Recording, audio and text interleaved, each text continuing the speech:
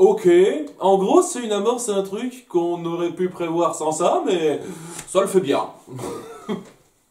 Donc là, le premier épisode euh, qu'on a est centré sur euh, Steven et Greg qui euh, discutent un petit peu de euh, de sa phase de création de chansons. Il chante un petit air sur, euh, sur la et pas la pie, je devrais dire. Euh, on me reprend sur Péridote, mais on m'a pas repris pour la pie.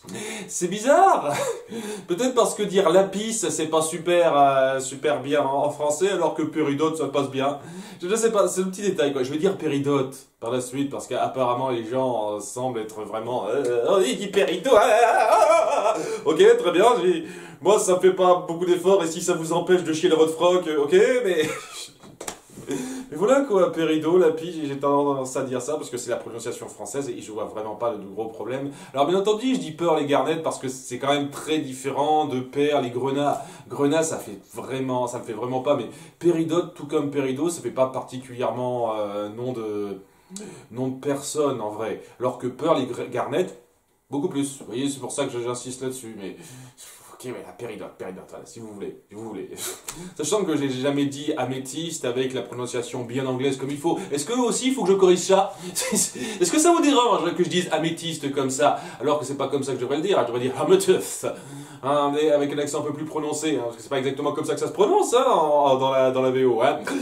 en tout cas, avec Benoît se dit, il chante une chanson sur la sur euh, Lapi Lazuli. Je vais dire Lazuli comme ça, ce sera ah, ce sera pas un problème, ça, ça dérangera personne et je dirai pas pisse tout le temps. Euh, je- il chante une chanson sur euh, Lazuli, euh, euh, histoire de, je sais pas pourquoi. Je veux dire, euh, c'est un peu mignon, quoi, euh, cette façon qu'a Steven de considérer euh, sa rencontre avec Lazuli avant, mais je sais pas pourquoi il tenait particulièrement à chanter là-dessus. C'est Greg qui a lancé la chose en plus, donc c'est sorti comme ça.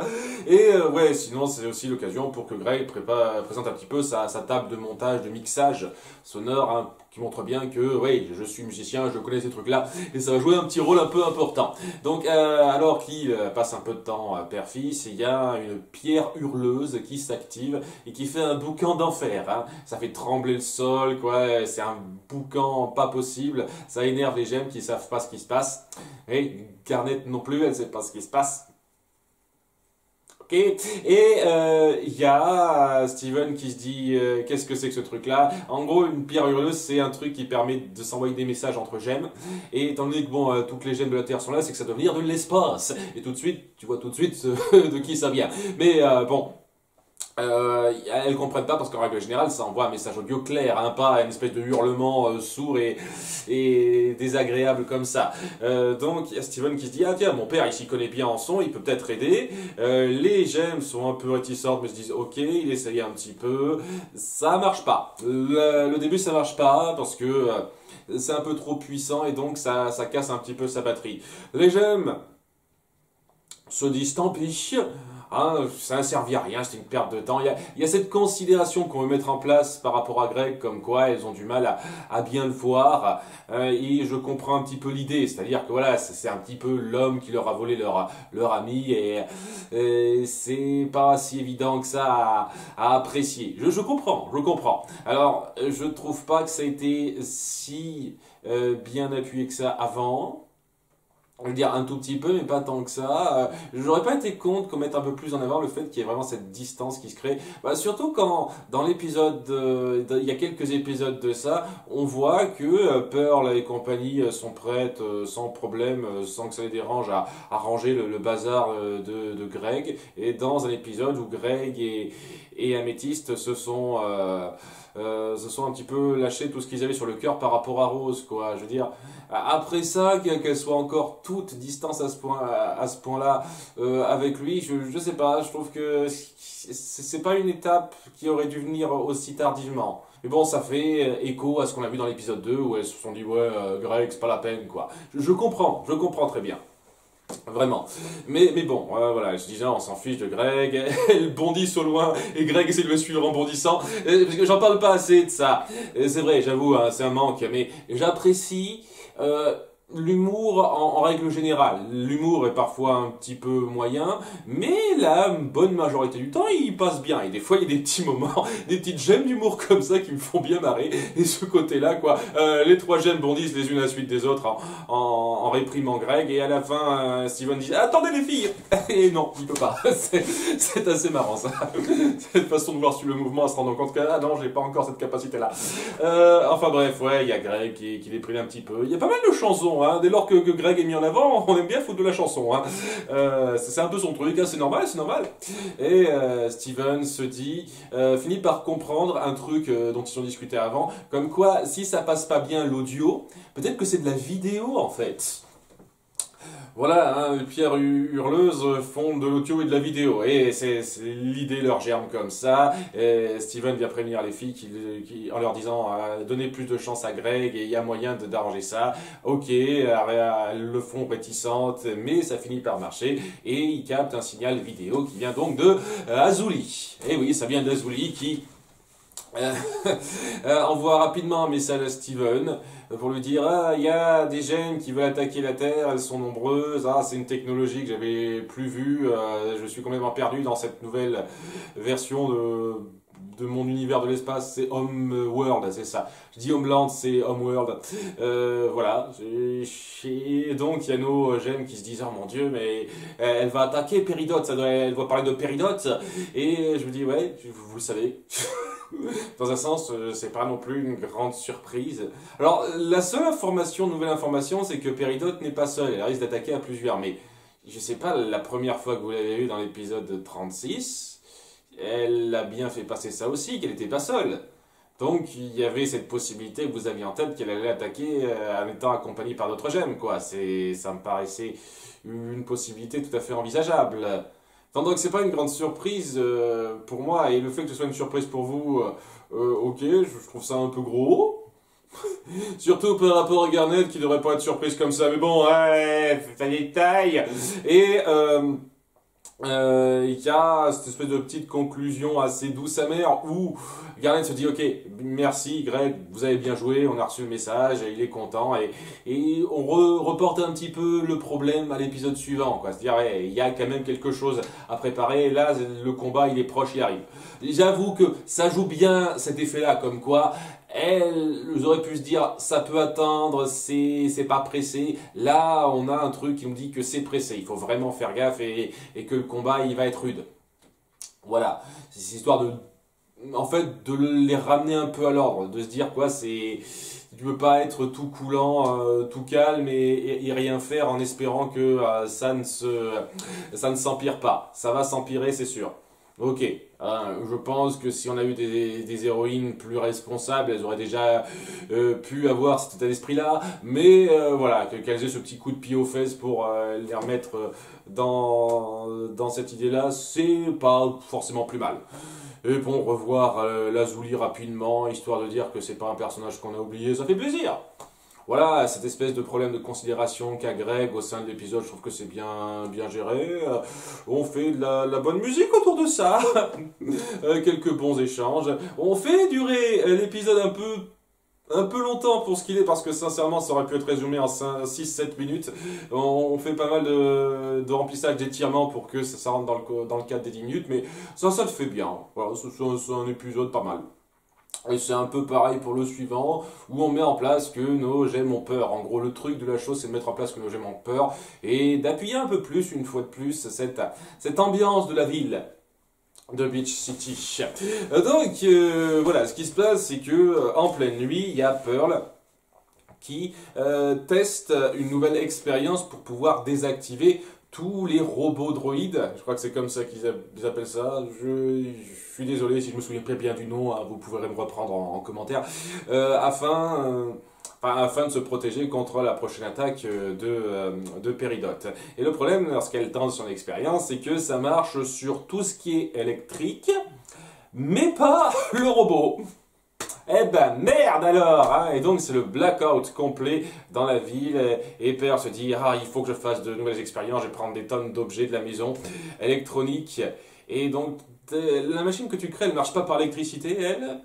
En fait, je comprends pas très bien, en fait. Il t'incruste de la magie dedans, parce que euh, techniquement, la fusée, il y a de l'électricité qui fonctionne là-dedans. Il y a des trucs comme par exemple les voitures, elles fonctionnent certes à l'essence, mais il y a quand même l'électricité de leur batterie. Je ne sais pas exactement comment ça se passe.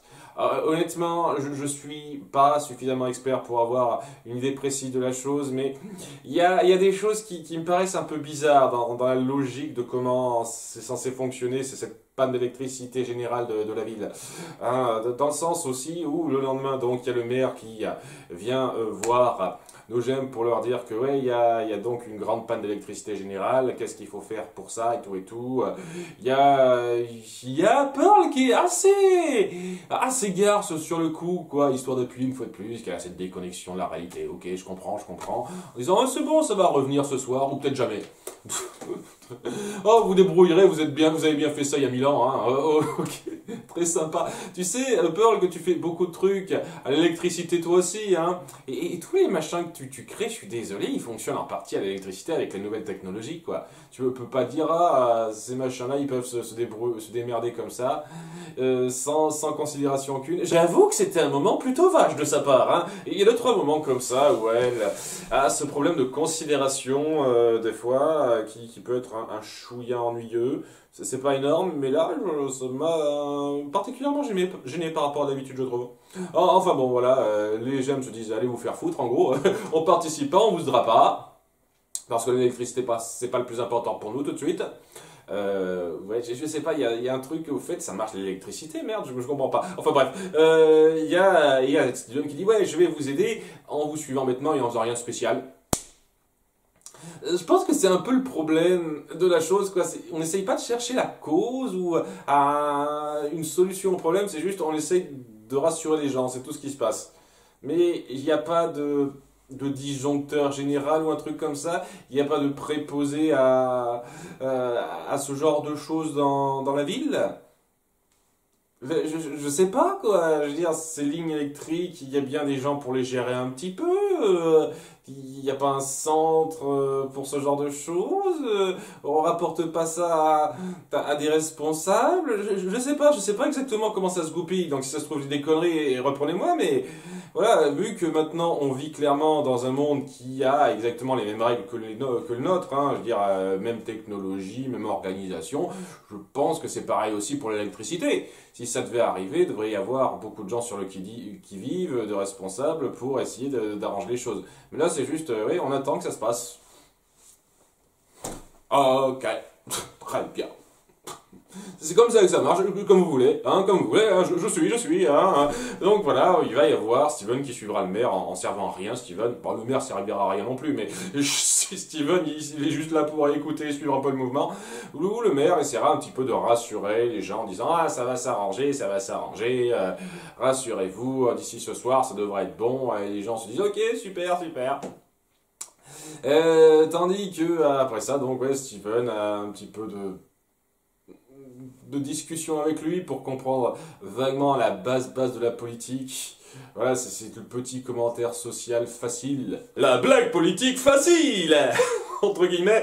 Ouh, ouais, euh, en gros, la, politique, c'est pas dire aux gens la vérité, c'est les rassurer parce qu'on sait rien faire. On peut pas améliorer les choses, mais on peut euh, euh, changer la perception des gens sur ces choses-là. C'est ça la politique. ok. Alors, j'avoue... Une fois de plus, pour une série euh, familiale comme ça, c'est pas tout le monde qui fait ce genre de, commentaires. C'est vrai, c'est vrai. C'est, assez intéressant de voir ça. Mais bon, quoi, il voit que, que ça gêne un petit peu, Steven, cette façon de mentir aux gens comme ça. Et c'est là qu'il euh, tombe sur les gemmes, euh, après coup, en rentrant chez lui, qui lui cachent des trucs. De façon pas subtile du tout, elles font pas gaffe en disant, euh, en essayant de parler un petit peu de la future attaque qui arrive, hein, de Péridote et les autres gemmes, mais en essayant de cacher ça lorsqu'il est là. Et donc il le vit assez mal, euh, surtout que le soir qui arrive, eh ben l'électricité est toujours pas revenue, et euh, c'est un petit peu le bordel dans les rues, parce que le maire leur a promis que ça s'arrangerait, c'est pas arrangé, et donc il y a une petite émeute, le maire essaie de calmer le jeu, mais ça se passe pas bien, mais c'est là que Steven intervient pour leur dire, attendez les gars, attendez, alors vous n'allez pas vous comporter comme ça, ce qui représente la lumière de cette ville, c'est pas son électricité, c'est vous, vous, je sais que vous êtes, euh, vous savez être solidaire, vous savez être fort ensemble, tout ça, tout ça. Vous pouvez euh, arriver à, vous en tirer comme ça sans électricité parce que c'est pas le plus important. Voilà, classique en termes de discours, ça a l'air de de convaincre les gens qui sont là, sachant qu'il n'y a pas énormément de gens au passage qui sont là. C'est un truc, cette ville doit être habitée par une cinquantaine d'habitants au, maximum, j'ai l'impression. Hein. Et encore pas si sûr, hein, parce que ouais, hein, la foule qu'on voit c'est juste des persos récurrents de, de, la ville, quoi. C'est tout. Donc... Euh... Euh, enfin bref, ouais, euh, il leur fait son petit discours, ça calme les gens, et puis il essaie un petit peu de, euh, défendre le maire en disant que ouais, si vous a menti, c'est parce qu'il veut vous protéger, parce qu'il vous aime. Pas sûr, mais c'est il finit par comprendre un petit peu le parallèle avec les gemmes qui veulent pas euh, lui dire ça, qui lui cachent euh, leur, euh, leur crainte parce qu'ils l'aiment, mais il comprend quand même que c'est pas la chose la plus saine de cacher les choses, c'est pour ça qu'il vient les voir en leur disant je veux être au parfum, je veux qu'on en parle vous n'avez pas à me cacher ça. Je veux faire partie du plan, je veux faire partie de la chose. Et les gemmes disent, euh, on a peur de ce qui va se passer. Ce ne devrait pas trop être le cas, puisque vous avez une gemme ultra cheatée à vos côtés qui pourrait euh, tout balayer facilement en prévoyant le, les différents cas possibles. Mais bon, hein, Bref, on va dire que vous avez peur quand même et que c'est complètement compréhensible. Et Steven qui essaye de les rassurer en disant oui, vous êtes super, on gérera ça ensemble, on se battra. Et c'est là que l'électricité revient, retour de l'espoir, tout ça, tout ça, euh, symbolique. C'était pas trop mal, là aussi, correct, je dirais, comme épisode. ça fait passer un petit peu. Euh, la façon dont les jeunes considèrent Steven, ils ont encore peur de l'impliquer trop dans des choses qui sont graves et Steven qui gagne un peu plus en maturité. Et c'est un truc que j'apprécie vraiment au fur et à mesure euh, de, de cette saison 1, parce qu'au début, j'avoue, Steven me gonflait. Mais vraiment, la première moitié de la saison 1, euh, une fois sur deux, il me gonflait. Mais plus ça avance, plus on le voit apprendre un petit peu de ses erreurs. Et la seule chose qui, qui reste à apprendre pour lui, pour moi, c'est de savoir poser des questions régulièrement.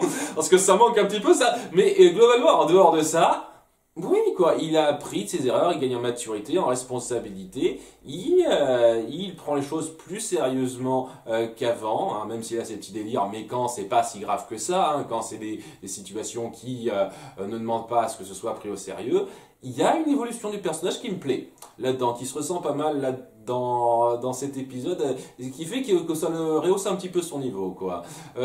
J'apprécie beaucoup ça.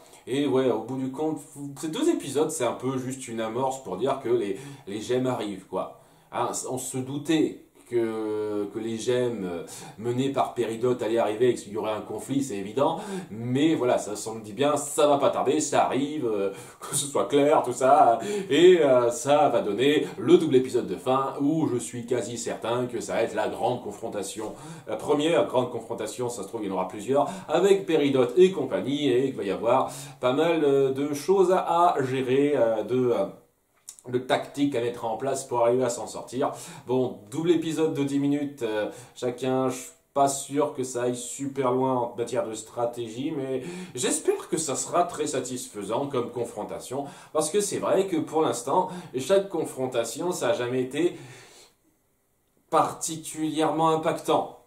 Je veux dire, certains combats sont un petit peu marquants dans leur chorégraphie. Je pense notamment à Sugilit contre, euh, contre Pearl. Mais euh, globalement, oui, c'est des combats comme ça. Et pouf Là, ça va être un combat final qui va mettre en avant un grand conflit qui risque de durer sur pas mal de saisons, euh, qui sera important dans, dans le grand fil rouge euh, de la série, sans doute.